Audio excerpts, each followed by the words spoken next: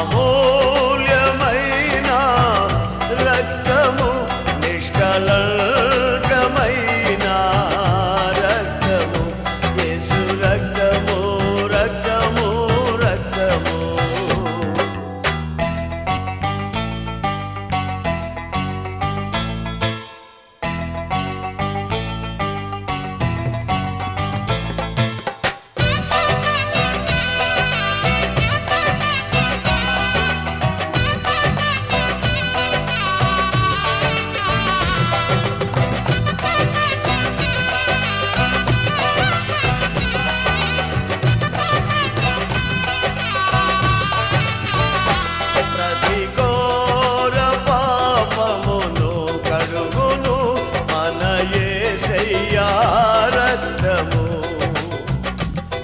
అతి ఘోర పాపమును కడుగును మన ఏషయ్యా రక్తము.